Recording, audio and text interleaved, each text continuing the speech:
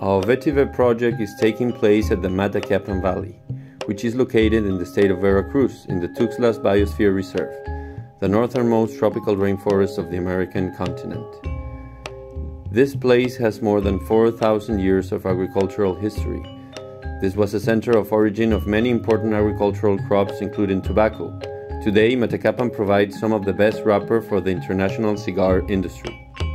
With more than 2,000 millimeters of rain per year, we have great risks of soil erosion in which the crops are severely damaged due to extreme precipitation events.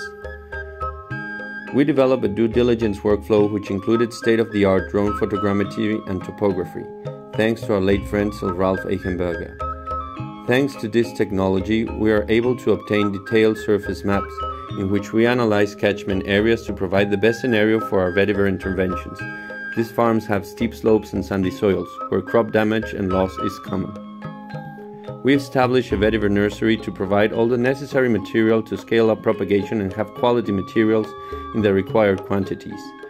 Our keyline design of vetiver swales has to take under consideration the tobacco crop season from seedling, planting to harvesting, so we use GIS technology to provide detailed designs both for the owners of the farm the engineers, and our implementation staff.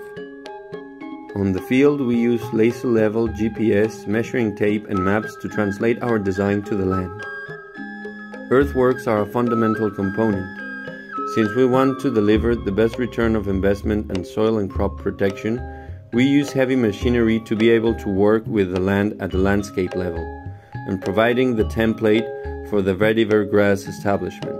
We have been working on different techniques to optimize vetiver propagation and management on site, which include both machinery and human workforce. We consider the human workforce a fundamental component in all vetiver endeavors. We are working hard to create a local culture that is able to understand and appreciate the dedicated work that has to be put in place in order to divide the grass columns and plant them properly to maximize soil coverage and climate risk reduction. We have seen very interesting and promising results since year one. In 2019, when we first started this project, our major challenge is to provide appropriate management practices to the established vetiver swales and to be able to cover all areas under risk, while is maintaining a close coordination with year-round tobacco operations.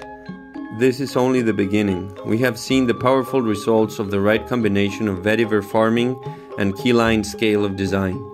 We are not talking about only delivering swales.